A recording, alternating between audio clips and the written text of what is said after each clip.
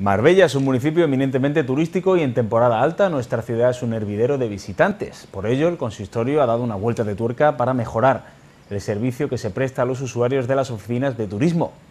Hasta el 21 de septiembre todas se mantendrán abiertas de lunes a viernes de 8 y media de la mañana a 9 y media de la noche y fines de semana, así como festivos de 10 de la mañana a 9 y media de la noche.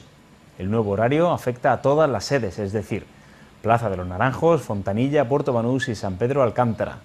Este verano, además, la plantilla se ha reforzado con ocho nuevas incorporaciones de personal cualificado y una vez que finalice el procedimiento para poner en marcha la bolsa de trabajo de informadores turísticos, la idea es que las oficinas se mantengan abiertas, además, durante todo el año.